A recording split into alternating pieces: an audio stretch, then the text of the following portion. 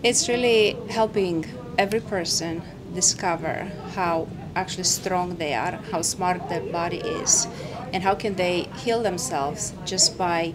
adopting the right diet, the right exercise for them, working with some stress reduction techniques, and just just see themselves as a, as a whole, not just uh, um, different organs like within the conventional medicine. When you go